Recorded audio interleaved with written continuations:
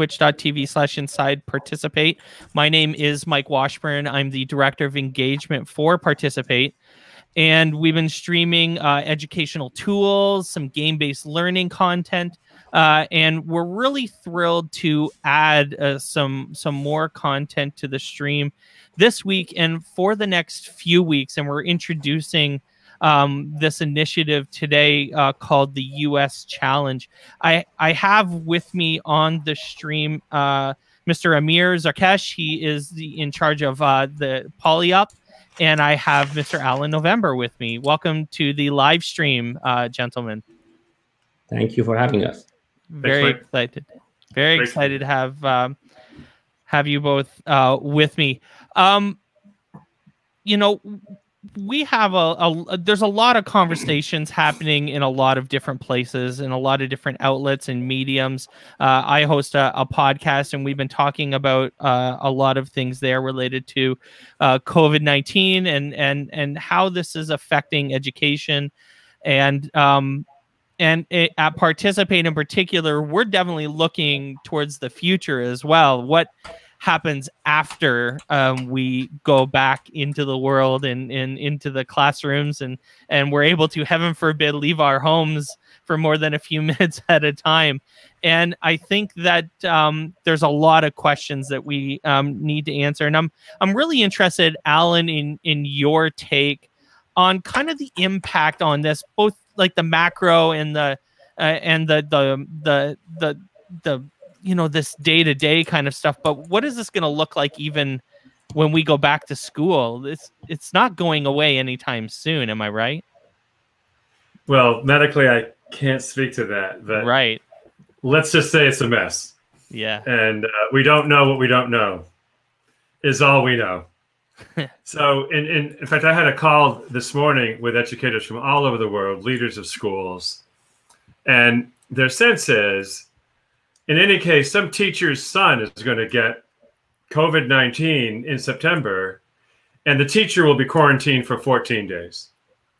And that's going to happen more and more. I think we're going to see minimally, even if we all go back to our normal schedules, which would be an extreme, but if that's the case, we're going to see a lot of absences of teachers and students. So, given that, we're going to have to be incredibly flexible about how we help support both the adults in schools and the kids in schools. Uh, and my sense is, because I happen to be a big fan of PolyUp, that when you look at emerging tools and you take them from the perspective of this crisis, what I think it means is an incredible opportunity to rethink the role of the learner and the role of the teacher to be much more actively engaged in focused content. So, for example, the bells aren't ringing. We're not setting our books aside for a quiz anymore. Maybe even high stakes testing goes away as it has now. And all of a sudden, we can give kids hours to focus. Now, I know that sounds weird because a lot of kids won't pay attention for 10 minutes, but hmm. that's in a classroom where that one teacher is trying to hold 25 kids' attention. If you had an environment like PolyUp where kids are getting immediate feedback and they feel a sense of an ownership of their work, and it's a game, and they're learning, and they're with friends, and they're excited, and they're not being marked down because they got something wrong, but they can immediately course correct, you know, mastery learning as a concept I can't wait for that to happen. Right. It, it's actually a, really interesting opportunity to to reframe um, some of the things that, that we've done in the past that like like the idea that um, high stakes testing um, has been canceled like, uh, you know virtually yeah. everywhere i live in ontario canada and we did the same thing here canceling canceling our um, standardized testing as well. And I, I, think most most educators think of that as as a good thing. Um, and you know this idea that we have these these uh, this opportunity.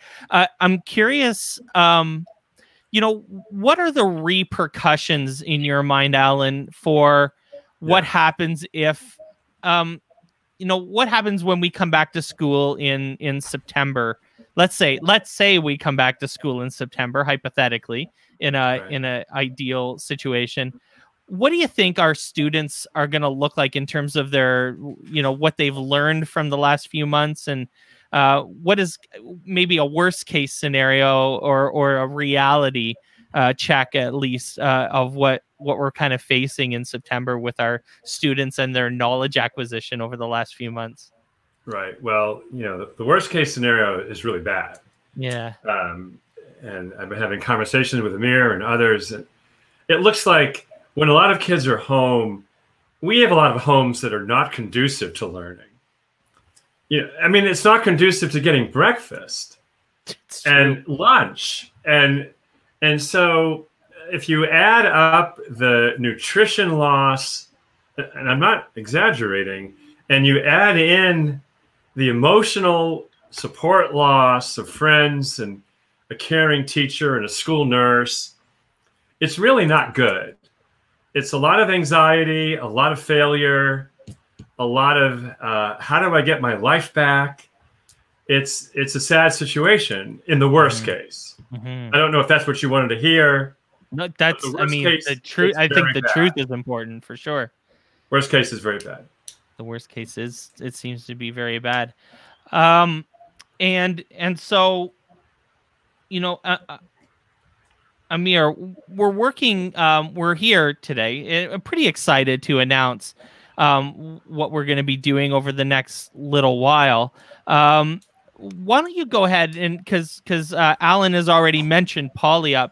Why don't you go ahead and introduce PolyUp and and what PolyUp is and and what it does, and then we'll get into um, what we're introducing today. Sure, very happy to be here, Alan. Great to see you again. Uh, and uh, you know, uh, we PolyUp really uh, got started quite a few years ago, um, it was about uh, 2015 actually, that uh, Professor Tabesh, which was in Stanford, I was looking for uh, bringing creative problem solving uh, to to masses in an equitable fashion. Uh, and uh, you know, there was actually they were writing a book about problem solving in an experimental environment, the way that the kids discover their own knowledge.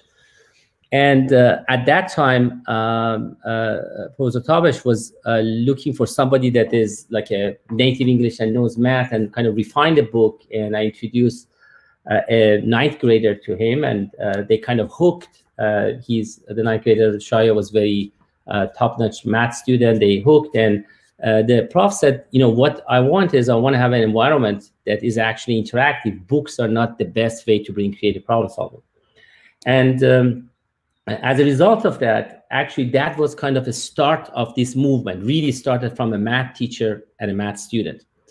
And uh, it went through quite few number of iterations. You know, uh, the, the, kind of fourth generation of the prototypes have came out. It has been tested in many uh, classroom in North and Southern California until kind of last year, uh, around January, that finally the fourth generation actually seems to address some of the main issues that you need to bring creative problem solving. I mean, we all know math games, you know, games to do uh, fifth grade arithmetic or seventh grade uh, geometry or ninth grade, uh, you know, um, um, um say uh, calculus or and and the issue is that there hasn't been a cohesive environment to be able to scale, to be able to have an activity that the, the student itself become an active learner, an active partner to be able to, to make, uh, uh, the, make the uh, environment and go forward. That was the main idea. And through this iteration, actually, an environment came along.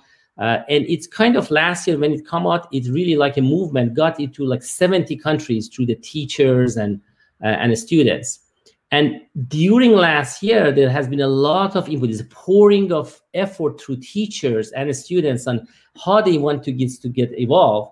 And as a result, something came about which is now in a 3D environment, and actually kids can build uh, robots and drones and cities, which everything come to life in it in a context of math. So, so that that's kind of the pedagogy or or, or the uh, basic of how this came together.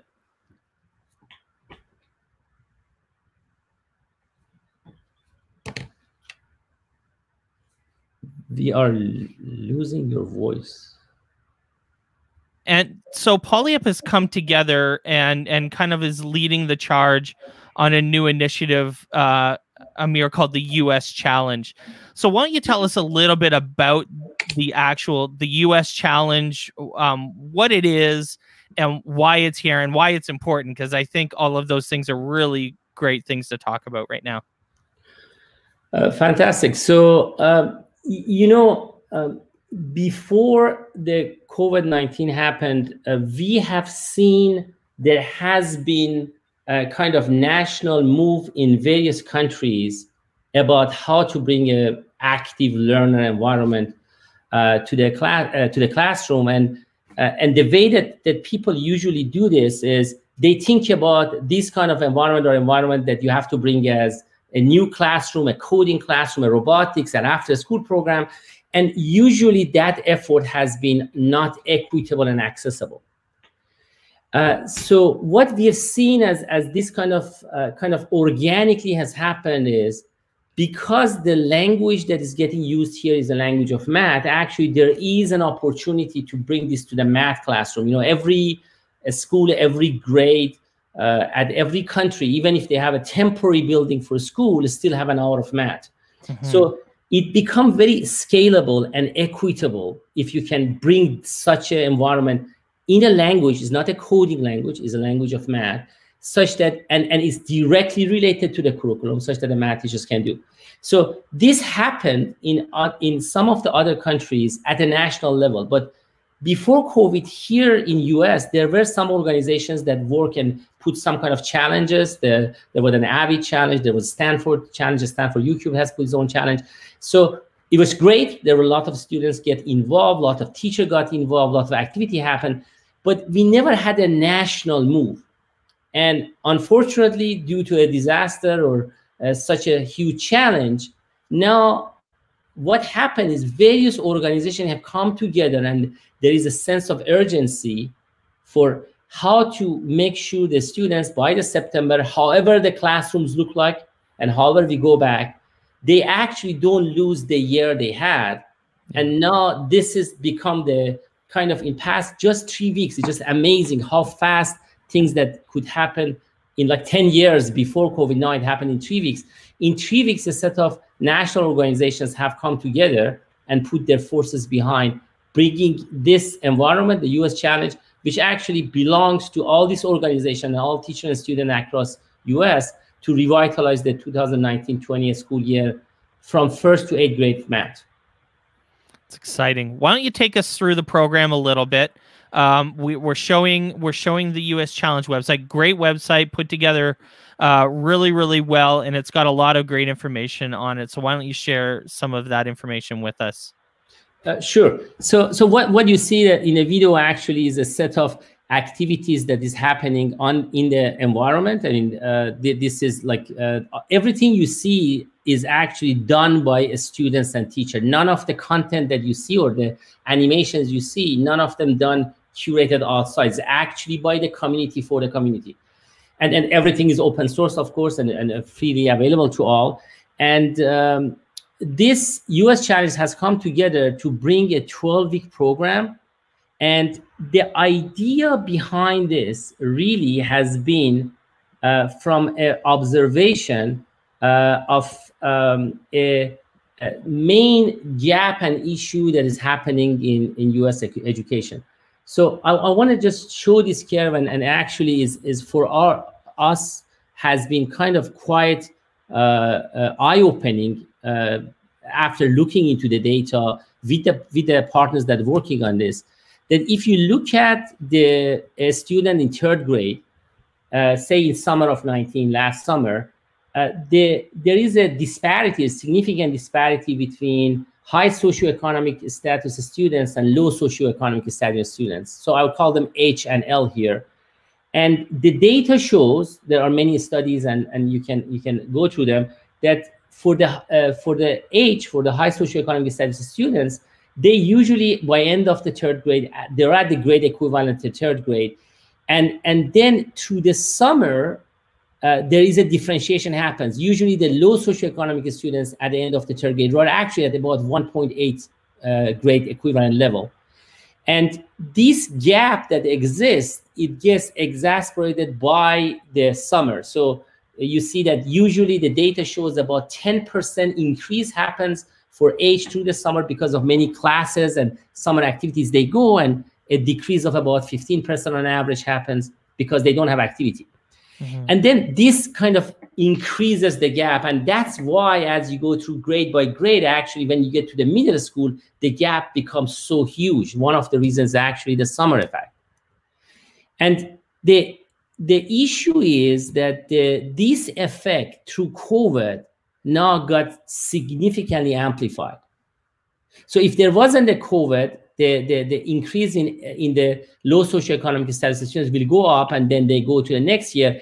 And the data shows by end of fifth grade in US on average, there is a gap of about twice, fifth, fifth grade level versus about two and a half. But now, because now you have artificial longer summer, the COVID closure of schools, Right. You have a significant time that nothing happening in the schools that the, online program is not there. The students don't have access to internet or uh, the, the program's not in place. That causes this decrease to actually by end of the fifth grade next year, this is now estimate, is going to add something roughly around one third of the grade actually decrease. This means that we systemically are going to get, see an increase of the gap because that the, the high socioeconomic status uh, students uh, invariably they see the online activities and they catch up back to where they were. So we're definitely seeing a loss of of retention, a loss of uh, of learning.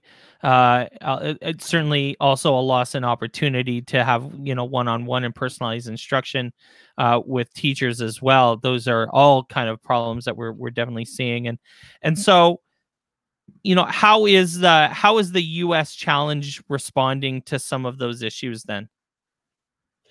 So you know what what we are seeing is there are different elements that teacher bring to the classroom and and and you need to have to make this happen bottom line is we are using summertime the, the exactly the time that you see the decrease in usual years, we want to leverage that as an opportunity between May and August to have this uh, uh, this kind of intervention.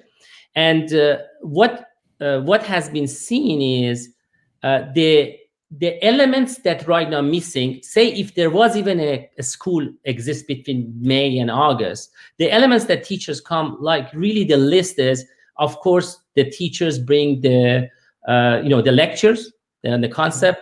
The teachers bring the pacing, you know, what you do this week, what you do next week. The teachers bring activities and feedback on activities. And uh, of course, more basic things like what, what Alan mentioned. You know, some of them they bring lunch to them, which which exists there. Of course, that's that's something that has to be addressed differently.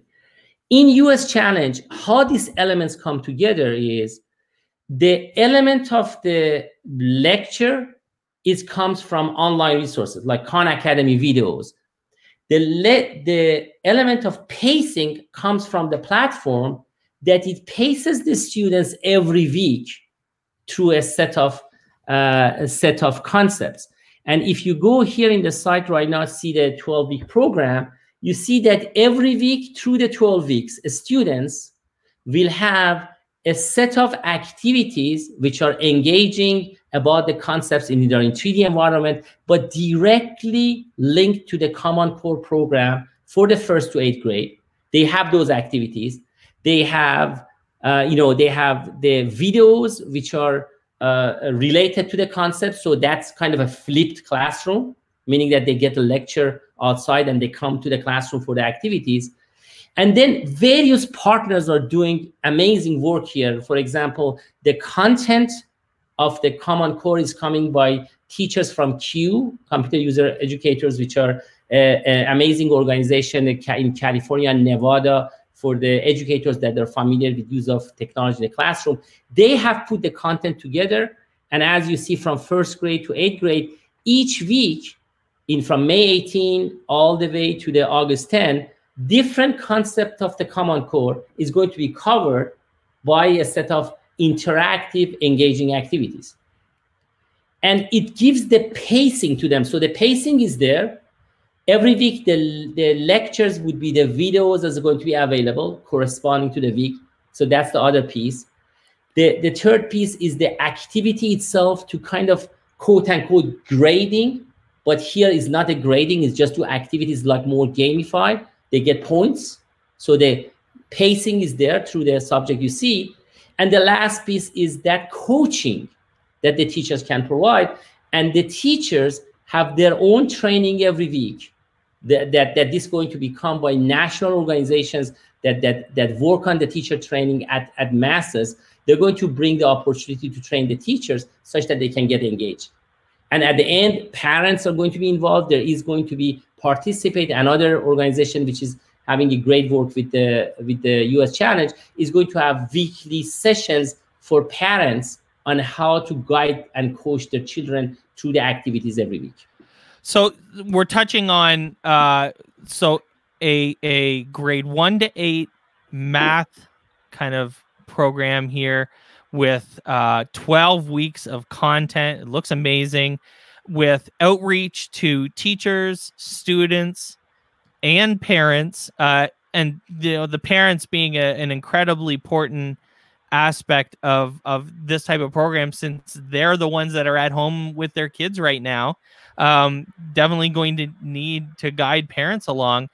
Uh, i just want to clarify is, is there any cost to the students and parents to to use this?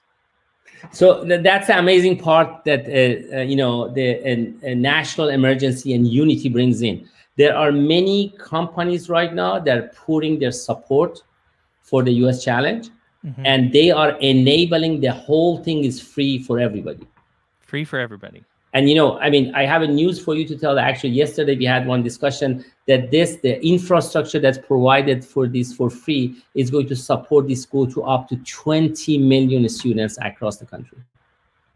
It's incredible.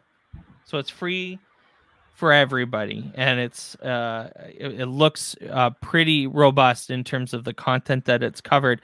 Um amir how is it how is it different than you know there's a lot of people doing a lot of online learning, remote learning, remote teaching stuff everywhere. Uh, I mean, even on on this Twitch stream, we've been doing kind of professional development type stuff, teaching teachers how to use uh, tons of different like technology tools and and things like that. So so how is this different? What differentiates this with you know lots of other things going on? Well, I, I think you know uh, the, the main point I can say is only two words. One is active learning, and the other one is personalization. So there, there are a lot of amazing, fantastic content, curated content from K to 12 on the net, free and and and and and, and uh, you know a lot of effort, great efforts putting on that.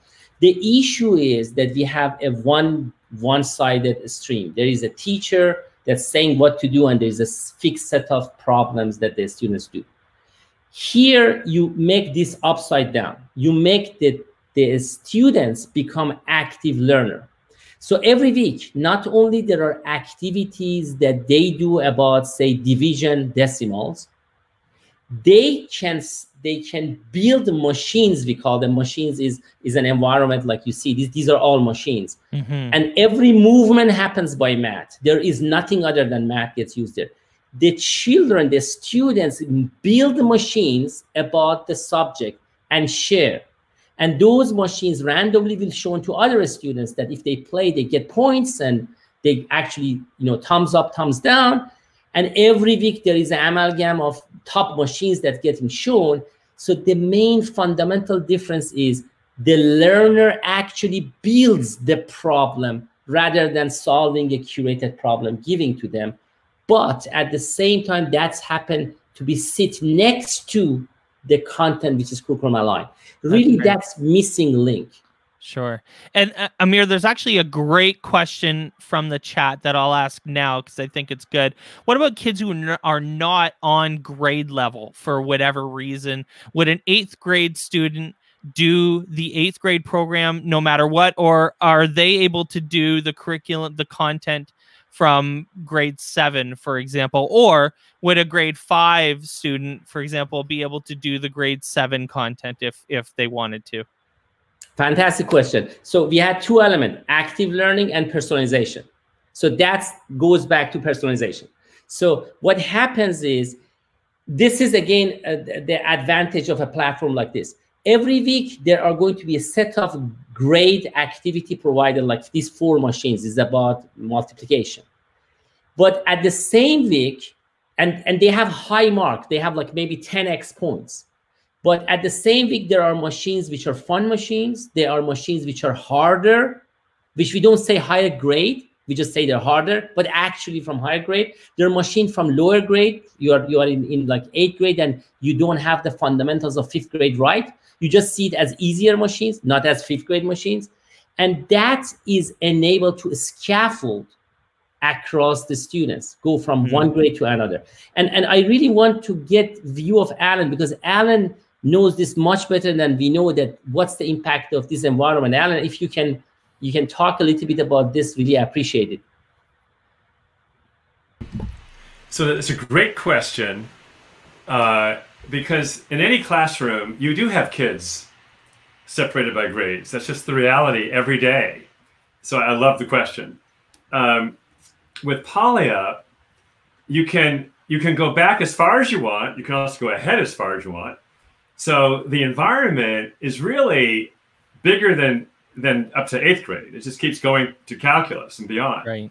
And and it's amazing to me why would you overestimate a student's creativity and inventiveness if they don't know basic math, right? In fact, today I was just reading about Stephen Wolfram, who uh, created an amazing company called Wolfram Research, and he has Wolfram Alpha, the knowledge engine. He only you learned the math tables, multiplication tables, in his 40s, but he wrote physics papers based on mathematical concepts when he was 15. But he didn't know the math. Einstein flunked math. Hmm.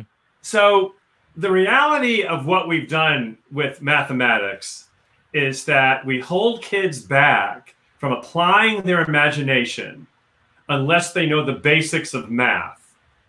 What PolyUp does, it says, frankly, we're not worried about that. What we're worried about is kids' imagination and their willingness to stick with a design problem until they get it right. And because PolyUp gives immediate feedback to the learner, it either works or it doesn't work. With no punishment, you don't get a C or a D or an F. You just get information about what doesn't work, mm-hmm. and then you can fix it on your own. So you own your learning.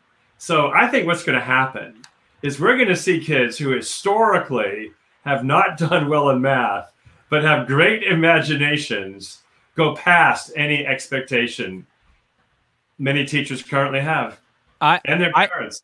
I, I love the idea of reframing math uh, as as a as a computational thinking yes a, a process and as a as an iterative process thing instead of um you know the way that I took math and I hated math and and right. like Mike Washburn is not good at math but I was I'm definitely a decent kind of coder a decent block coder yeah. um and I could wrap my head around Python um so I I get like the computational thinking, iterative design thing, and I'm fine with the idea of making mistakes and not getting things right the first time.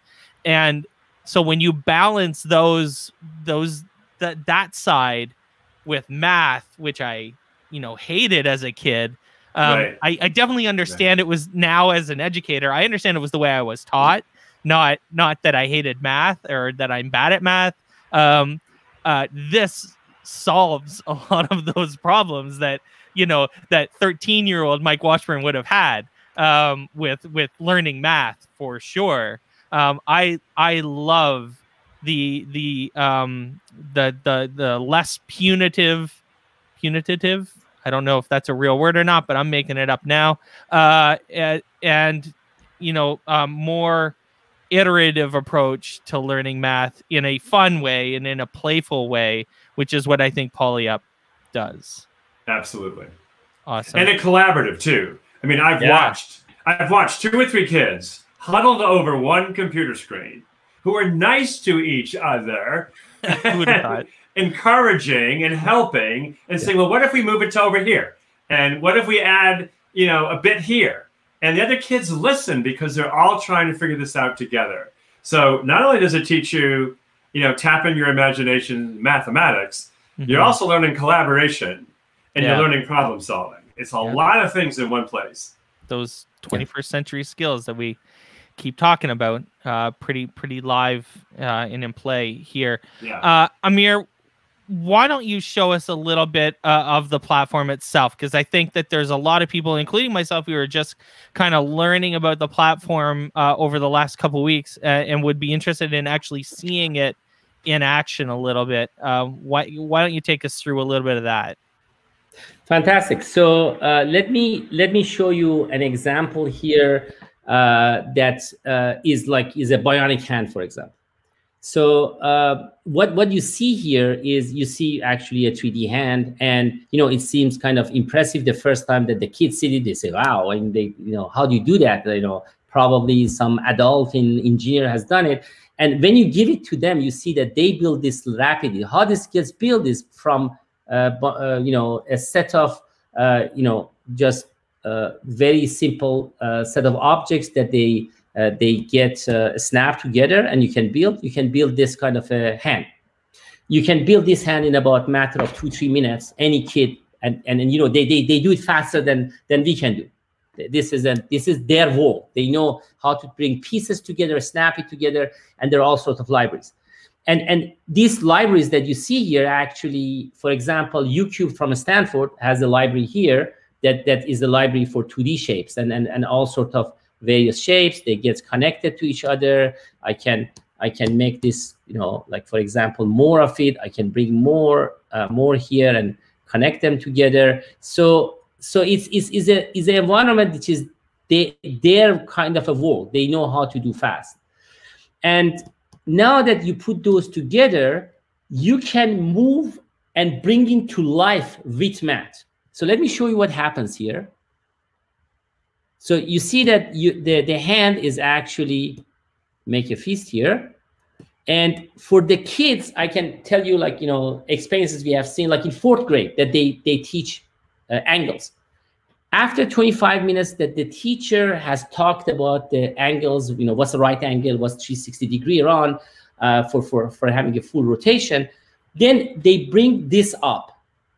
And they see this movement and the first reaction they have oh, oh that's cool. Hmm. how can i do that?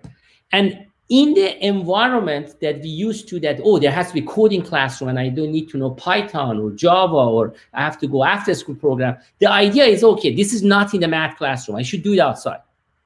But what happens is then the teacher tells you know guys you know this is actually based on some very simple thing we just talked about. Each piece has a chip on it just like i can put a chip on this and i can go inside that chip and I can start to move it around. So if I go here and I got I just say uh, very simply uh, to let me actually put it in a uh, in a form that is simple then the kids see. I had all the uh, all the advanced mode in. I go to casual, which re- regular uh, students see. If I go here, I see that that what I have is as simple as I can have two and go forward, for example, and then rotate as much as, for example, uh, 45 degree. And I can do this again and again. Again, I can say that whenever uh, whenever you get at the end, do this again. I put this here. So I come down, it's to go forward, 45 degree turn, and oh, I have the same column again happens, to go forward, 45 degree turn. This is the way that kids in math classroom discover loop. They don't need to go to a block coding. It just learn it in context of math and, and the operations that they can do there. Now, I can have any operation. I can have like, you can have multiply two by two. And here the only difference is the multiplication is after the kids learn that fast. So you see visually two times two is four. I go for a step forward, 45 degree turn. And when I go back to the environment, I see that this happens on the object. So the object right now going forward, 45 degree turn. You see every time 45 degree turn and go forward. So I, these, I won't lie, Amir. I've never seen a website animated so beautifully. I, I props to your programmers, the, the your web coders, because those actions, those just those coding blocks and the way they're animated, I find it's it's absolutely gorgeous. It'd be engaging for kids. So like I used to talk, I talk all the time about aesthetics and how if you're teaching kids, the way things look matters. It matters to kids. It's it's why you know game based and i'm a games based learning educator and so like i talk a lot about like why kids really want to play like minecraft instead of these like games made by textbook companies and stuff like that because the way it looks matters. And i'll tell you the the aesthetics of this are are, are really cool. And and i think that kids gravitate to that sort of thing. So i i love this. And, and and you see now now what happened is oh actually let me do this. If i if i put this one if i take this out and then put this connect to this now it actually moves together.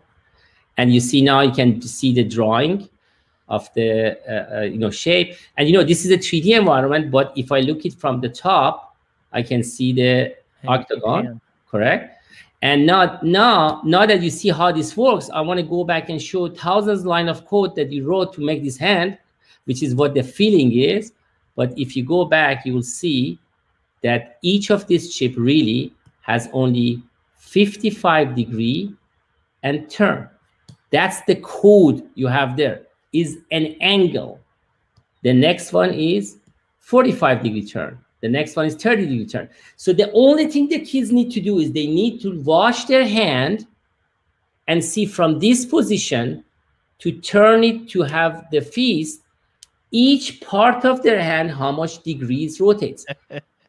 in the first session that they learn angle, instead of being bored and thinking, "What? Why the hell I'm learning this on the board?" They yeah. say, "Man, by knowing an angle, I could do a hand move. What can I do next? What else do you have here?" And this is where the math become empowerment to do robotics at zero cost for every kid that has low bandwidth connection in a cheap mobile device. It's amazing. It's absolutely amazing. And and it's um like I said, I, I think I think it's great that even you know, even just talking about the interface opens up a whole world of conversation uh, about like three like XYZ axis. Uh, and you know what I would connect it to is again, um, you know, games like Minecraft that have XYZ axis in them as well.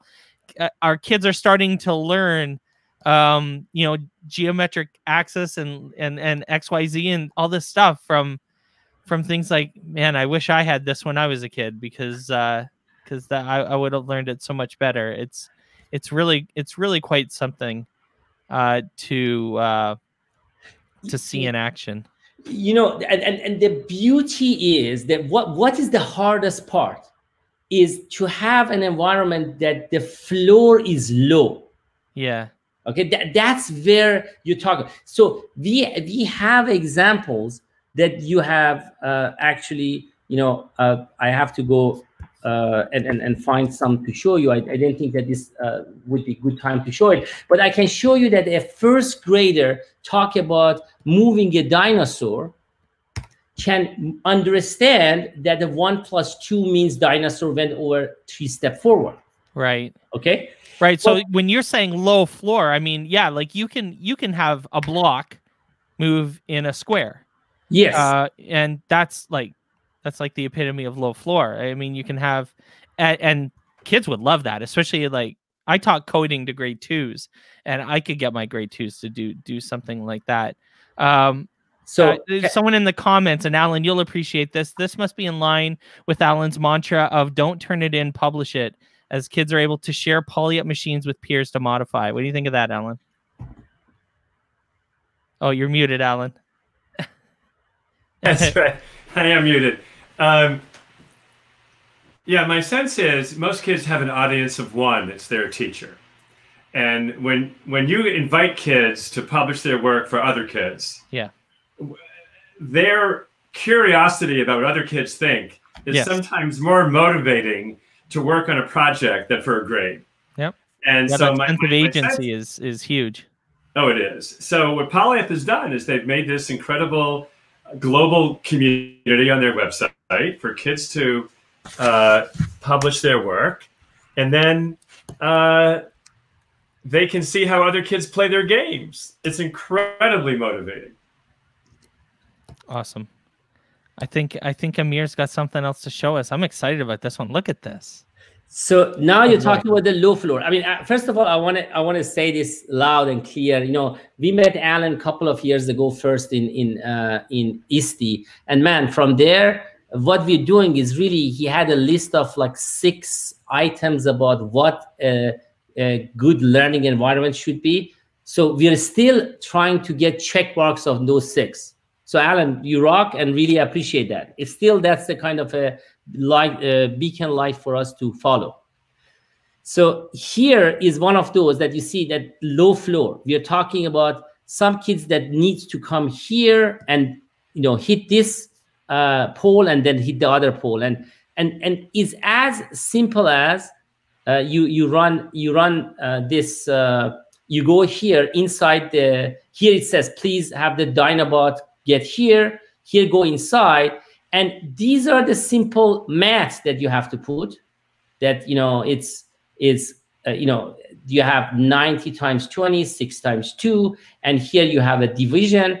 And each of these elements runs one of those.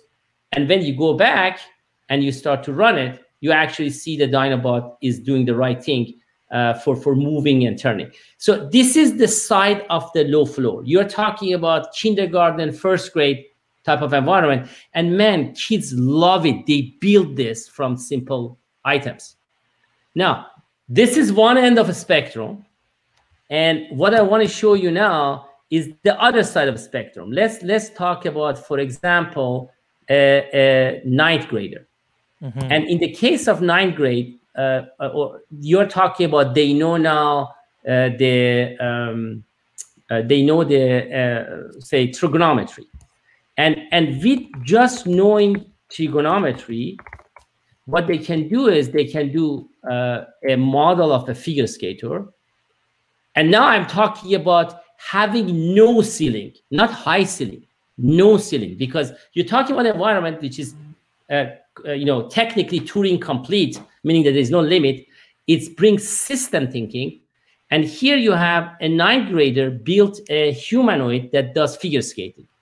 And here you can just watch the movement.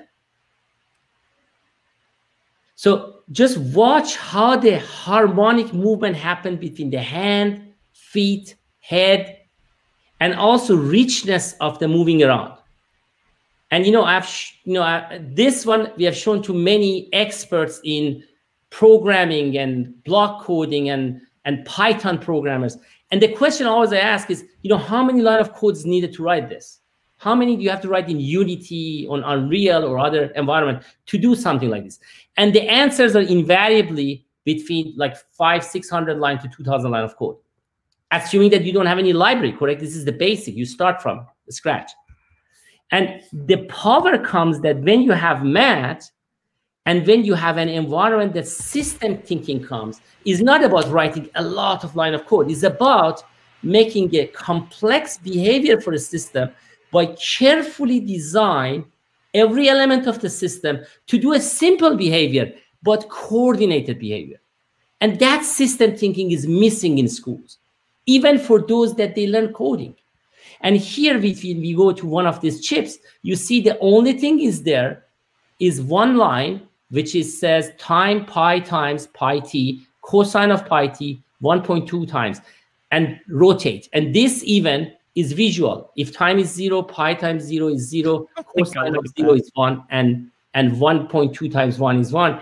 This simple function gets repeated in 12 chips. Some of them have sine, some of them have cosine, and as a result, you achieve a system level goal, which looks wow. So cool. Okay. It's very cool. So this is this is great. Um, you're getting a lot of fans in the chat, um, folks that are pretty impressed with the platform, and and I think we're really excited um, to get started uh, on on the U.S. challenge. I think it's going to fill a, a, a really big gap, as Alan has talked about, and and kind of meet uh, a lot of the needs um, that we have going forward. Um, so I want to remind everybody. Uh, so this is a 12 week program that's beginning in the middle of May. What was that first date, Amir? May 18th. May 18th. Um, and we are uh, running streams here on twitch.tv slash inside participate, the the participate uh, live streaming channel uh, for the next three weeks leading up to the beginning of that event. So, and then every week during the event. So, uh, so 15 more weeks of streaming, one hour, uh, right at this time. So, uh, so I believe it's it's going to be at this time. If it's not, we'll let you know. But uh, for the first little while, it's going to be here Thursdays at 2 p.m. Eastern time, and we're we're gonna we're gonna dive into this. We're gonna take a look at the platform. We're gonna talk about how it's used. We're gonna talk about how to uh, how to frame all of this content uh, that we're looking at and and deliver it to to these kids and and get them really excited about learning math and computational thinking. And uh, there was someone in the chat that brought up uh, the idea that you could do narrative design. You could you could you could tell stories with with PolyUp. And so now we're talking about like language learning and math learning and computer science learning all in kind of the same uh, the same place in a really kind of fun way. So it's it, it's pretty exciting stuff, and I'm excited to be a part of it at Participate. The one thing that I'll remind everybody who's watching. Uh, if you're watching live on Twitch, which is where you should be watching, um, if you click on the heart at the top of the screen in the interface, that'll get you following us on uh, on the on the stream. So you'll get a notification every time we go live. So not only will you be notified when we go live uh, for the U.S. Challenge, but we actually do uh, quite a bit of other great content in uh, in the Twitch stream uh, including the actually next. So in the next 10 minutes, we're going to be starting the Gone Home game study. Uh, we do a we do a deep dive into a video game series and and talk about how we use it for teaching and learning. So that's next on the stream, and we do a lot of other stuff. So um, please be notified when it comes out by by following the stream on Twitch, so you get that notification uh, and that you don't miss you don't miss it. Uh, I want to make sure everyone follows uh, all of us all on Twitter as well. Um, uh, at uh, what's what's PolyUp's uh, Twitter handle, Amir? It is uh, PolyUp Inc. At PolyUp Inc. And I'm at Mr. Washburn. You can also follow at Participate. And Alan, how do people uh, how do people connect with you on on Twitter? Global Earner. Global Earner. I misspelled on Twitter. It. It's supposed to be Global Learner, but I didn't put in the second L. So, so it turned out to be Global Earner. Which is funny because I noticed that today when I was tweeting, uh, tagging you in a tweet. I was I, I instinctually did two L's and went, oh, right. that's not right, yeah. uh, and I did not want to to mess it up. Um, so, Mike, can I can I have a, a request from the fantastic audience here, uh, yeah. if I may? Is that okay? So, the, the, the, two points I want to mention. One, yes. this is not only PolyUp. I want to emphasize there are amazing organizations are helping yeah. on this. Content comes from teachers. Uh, November Learning is helping. You know, CUE is helping. Uh, participants. It's, it's just and it's growing. Please join the. This is a movement. It's not shiny product. It's an experiment to deal with a with a emergency. And if the experiment goes well this becomes something that it will get used more and more. So mm-hmm. the request is please consider this as your own. It's going to be flawed. It's going to need to get better. And the only way it gets better is because the students teachers and parents and the partners they all put their they chip in and make it happen. So please, please uh, participate. Fantastic. Yes. Um, Alan, thank you so much for joining us on the stream oh, this honor. afternoon. This was great. Amir, thank you so much for joining us as well. And uh, thank everybody for watching. We had quite a few viewers uh, watching the stream. A lot of great conversation. Um, please uh, check out the the website. What's the website, Amir? Let's make sure we get everyone the website. Is uschallenge.org. uschallenge.org. I will put it in the chat so people can literally just click on it. Um, super easy to do. Uh, go there um, and and bookmark that because you're going to be on it uh, quite a bit over the next uh, 15 weeks or so. Thanks everyone for watching, and we'll talk to you soon. Bye now. Thank you, Mark. Thank you, Alan. Oh, an honor.